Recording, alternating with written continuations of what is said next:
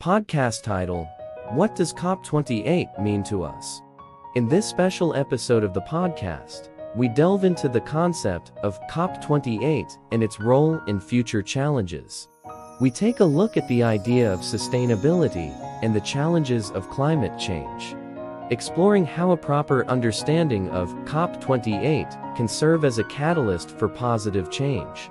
We analyze global efforts and the role of nations in achieving a balance between economic development and environmental preservation. We highlight the pioneering efforts of the United Arab Emirates in this context, illustrating how leaders can play a vital role in shaping pathways toward a more sustainable world. Tune in as we explore the horizon of COP28 and how it can impact our lives and the future of generations to come. The UAE stands as a global leader in sustainability, exemplifying a unique balance between economic growth and environmental preservation. With a proactive vision for the future, the country utilizes modern technology and innovation to address environmental challenges. In striving for sustainable development, the UAE focuses on key goals encompassing environmental, economic, and social aspects. Initiatives include improving air quality, preserving biodiversity, and promoting sustainability across various sectors. Leadership, particularly the dedication of His Highness Sheikh Mohammed bin Zayed Al Nahyan, President of the United Arab Emirates.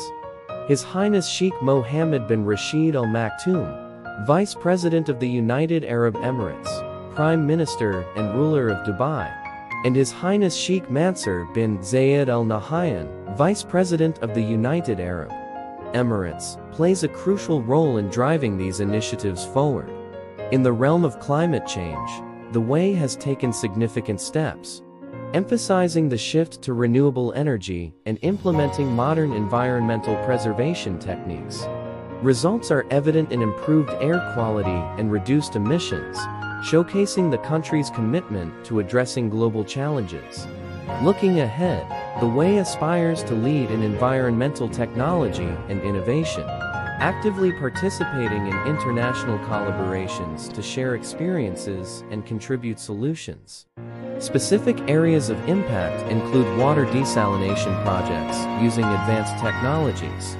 In conclusion, the UAE's efforts not only set an example, for balancing economic development and environmental care, but also present a vision for a better future.